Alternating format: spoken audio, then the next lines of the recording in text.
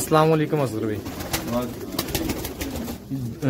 असगर भाई, जो आपके चैंपियन बर्ड्स हैं और जो बर्ड्स आपके पास बाज ऐसे बर्ड्स भी होंगे जिनके कुछ पॉइंट उनमें कम होंगे, ठीक है? दोस्तों को बताएँ ताकि उन दोस्तों को पता चले कि किस पॉइंट का बर्ड होना चाहिए, कैसा बर्ड होना चाहिए जो चैंपियन बनता है। ये फीमेल आप एक देख रहे हैं, इसके हंड्रेड पॉइंट्स होते हैं। इसमें इसकी चोंच लेकर, इसकी आँखों से लेकर, इसकी टेल और मोस्ट तक हर चीज़ के अपने अपने अपने अलग अलग नंबर हैं। जो पाइड में बर्ड की चोंच होगी, वो हमेशा ब्लैक होगी। और अगर ये चोंच वाइट होगी तो फिर इसके नंबर कट जाएँगे। जो वाइट बर्ड हैं, या जो ग्रीन बार और इस तरह के बर्ड हैं, उनकी चोंच वाइट होगी, उनकी ब्लैक नहीं होगी। वाइट बर्ड की आँख जो होगी वो ऑरेंज सर्कल के अंदर ब्लैक होगी। वाइट बर्ड की आँख फुल ब्लैक होगी। यहाँ पे दस्ट होता है चाँद या पाइट कहते हैं, ये जो होना चाहिए, ये एक आँख से शुरू होकर इस आँख तक होना चाहिए। मुकम्मल पीछे मुकम्मल रिंग नहीं होता। अगर मुकम्मल रिंग हो जाएगा तो ये इसकी कटिंग आउट हो जाएगी। और ना ये नीचे टांगों के साथ मिला हुआ भी नहीं होना चाहिए। अच्छा यहाँ पे मैं असगर भाई की यहाँ पे असगर भाई के बाद दोस्तों ये जो व्हाइट कलर का जो आपको नज़र आ रहा है चाँद असगर भाई इसका कह रहे हैं कि ये बिल्कुल राउंड भी ना हो और बिल्कुल टांगों के साथ टच भी ना हो। टांगे और जो पमोल है ये व्हाइट कलर में सफ़ेद होने चाहिए। यहाँ पे किसी कलर नहीं होना चाहिए। ठीक। जो बड़े के फीदर हैं कलियाँ जो स्टैंडर्ड कहते हैं एनपीए का वो कहते हैं कि सात कलियाँ सफ़ेद होनी चाहिए। और उसके ऊपर वाले ब्लू या ब्लैक जो ये अभी चूँकि ब्लू पाइट ब्लू बार पाइट है तो यहाँ पे बाग हैं या देख रहे हैं। बिल्कुल। इनमें कोई नुक्स होता है वो भी एक माइनस पॉइंट है। जो टेल है इनमें उसमें वाइट पर नहीं होता। वो हमेशा वाइट कलर में कलर में होती है। और इस इस तरीके से जो स्टैंडर्ड बर्ड है, उसके विंग्स जो हैं, वो हमेशा टेल से छोटे होंगे टेल से बड़े नहीं होंगे, जो उसके जो उसके विंग्स हैं पर हैं तो ये एक आपको दिखा रहा हूँ स्टैंडर्ड बर्ड दिखा रहा हूँ। अब ये एक देखें एक फीमेल है, बहुत अच्छी फीमेल है। लेकिन इसके आप ये देखें कि इसके आगे से जो इसकी चाँद है, ये कम है।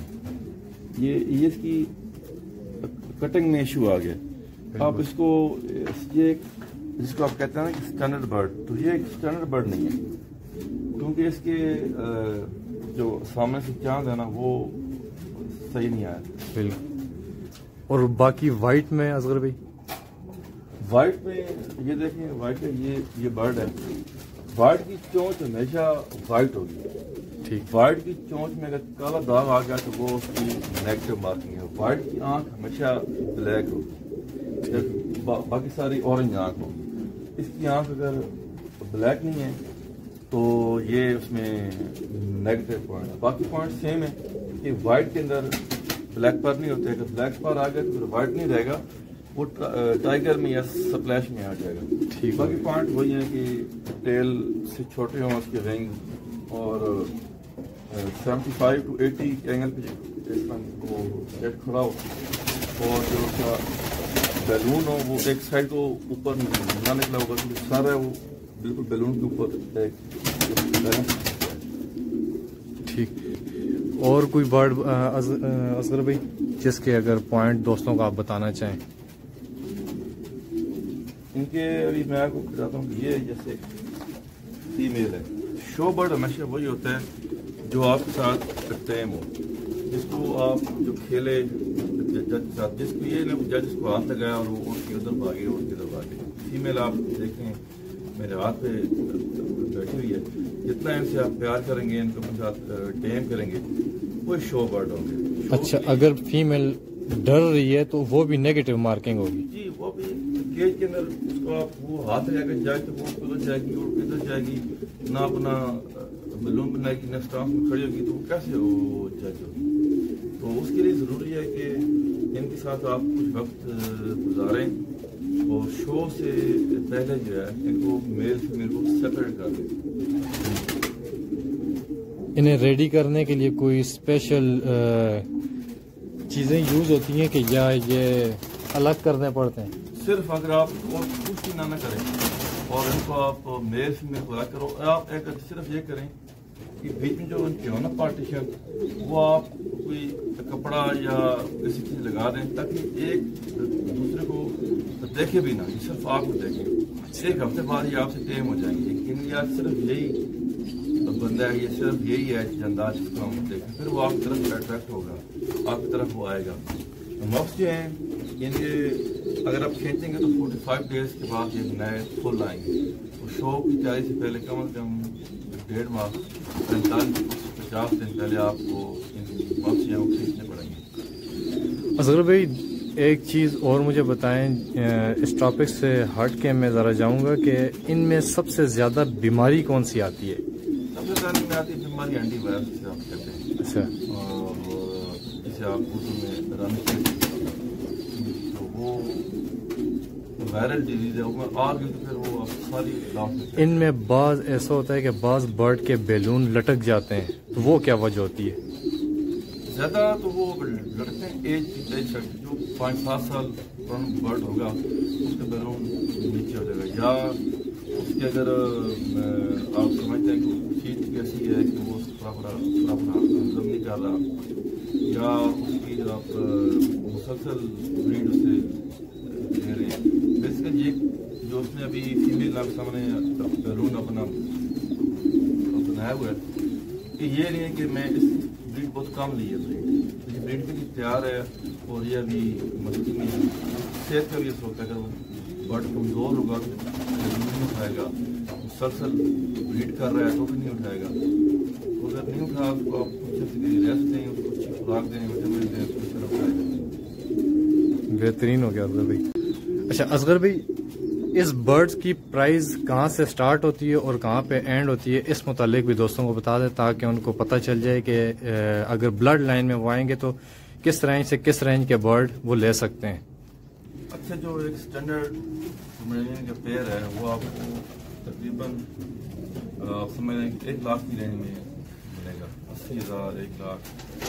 भी एक डेढ़ लाख तक आपको पेयर अच्छी मिलेंगे तो इससे कम अगर कोई, कम फिर भी वो फिर आगे सा वो क्वालिटी डाउन होती है ये जो मेरे हाथ में फीमेल है इससे अगर क्वालिटी का पेयर आप लेंगे ना तो तकरीबन एक लाख की रेंज में होगा। एक लाख से एक बीस लाख इस रेंज में मिलेगा। तो जब कुछ भी होता है फिर यार, हमें बहुत बीस तीस हज़ार का पेयर चाहिए। बीस तीस हज़ार के पेयर में ये चीज़ नहीं मिलेगी। अच्छी क्वालिटी के बर्ड के लिए अच्छे पैसे देने पड़ेंगे। जी जी बिल्कुल ऐसी बात। या फिर फॉल्टेड बर्ड जो हो जाएगा क्योंकि मेरा ऐसी जो अंडों से बंद होगी एग बाइंड या मेल फर्टाइल नहीं होगा तो वो कल पैनी करके तो वो सस्ता भेजे तो वो एक कोई बैड बात जो स्टैंडर्ड बर्ड है वो महँगे हैं नहीं है। ठीक हो आखिर में दोस्तों के साथ दोस्तों को कुछ कहना चाहेंगे? तो मैं ये कह रहा हूँ आप, मशीन आप करें अक्सर लोग जब आते हैं मेरे पास तो ये पूछते हैं कि इनके आगे से जो ये अंडे कब देंगे? बच्चे कब देंगे? हम कब बेचेंगे? और छोटे बच्चे सेल करते हैं, बिल्कुल ज़ीरो पर लेके एक के तो अगर आपने इस शॉप में आगे जाना है तो आपको थोड़ा सा सबर समझ गुजार करना पड़ेगा। ब्रीड भी आ जाएगी, इंशाल्लाह। नया बर्ड नई जगह पे जाके उसको अपना वक्त लेता है एडजस्टमेंट इंसान लेता है तो ये तो फिर आप इंसान एक शहर से और शहर चला जाए, उसकी खुराक उसको रात नहीं आती वो ऐसा उस पानी पे उस खुराक पे आती होता है, और उसके बाद उस माहौल में एडजस्ट बाद ये परिंदे भी, इनका भी आता नया परिंदा जाके नहीं, उसको अपने माहौल में पहले एडजस्ट होने दें, और आप तो ऐसे से ही आपको साथ देगा और आपको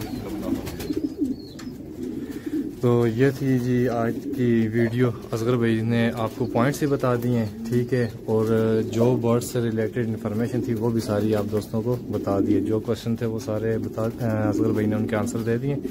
जिस किसी भाई का कोई भी क्वेश्चन हो वो नीचे कमेंट में लिख सकते हैं इंशाल्लाह नेक्स्ट वीडियो जब भी बनाएँगे इंशाल्लाह वो क्वेश्चन अफजल असगर भाई से लाजमी हम पूछेंगे ठीक है?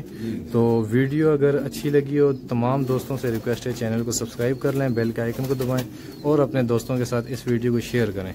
मिलते हैं किसी नेक्स्ट वीडियो में किसी नए टॉपिक के साथ। तब तक के लिए अपने इस भाई को इजाज़त दें। अल्लाह हाफिज़।